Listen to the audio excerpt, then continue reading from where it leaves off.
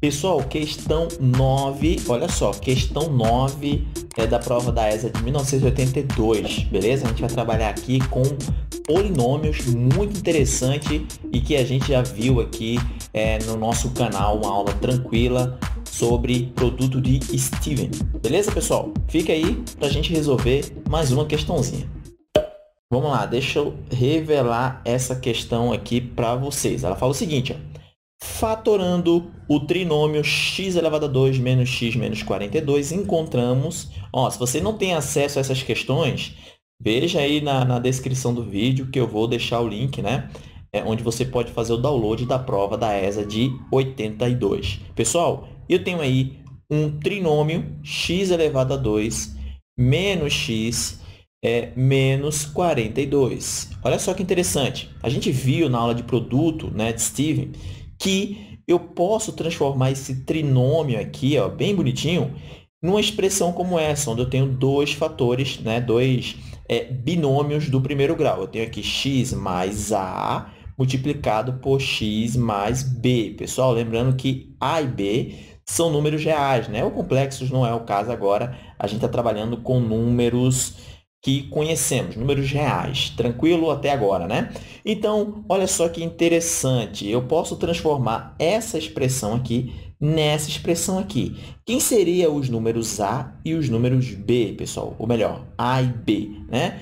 E quem são eles? Olha só que interessante. Eu posso reescrever, eu posso encontrar esse carinha aqui, ó, lembrando a seguinte maneira. Ó, a e B são números reais. Eu tenho aqui x ao quadrado mais, ó, A mais B, aqueles dois números que estão ali, que a gente quer saber quem é, multiplicado por x, mais o A vezes B. O que, por que eu fiz isso aqui? Para a gente chegar a algo bem interessante. Ó.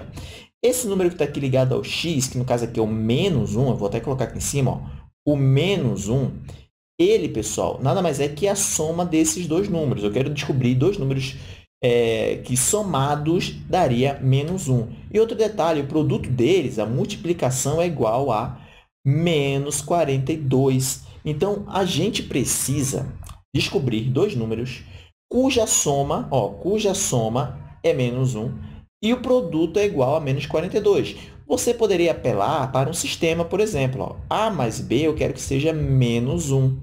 E A vezes B, eu gostaria que fosse menos 42. Eu poderia fazer isso, mas tente trabalhar é, esses problemas de uma maneira mais rápida, ou seja, trabalhando a própria tabuada, quando é possível, de uma maneira bem rápida. E é possível. Qual, pensa em dois números que multiplicados daria 42. É fácil lembrar que 7 e 6 multiplicados vai dar 42. Mas espera aí, será que é possível entre eles é, a soma ser igual a menos 1? Isso aí que precisa ser trabalhado, pessoal. Tá? E a gente sabe que o maior deles precisa ser um número negativo, porque o resultado aqui é negativo. Então, poderia ter menos 7 e mais 6.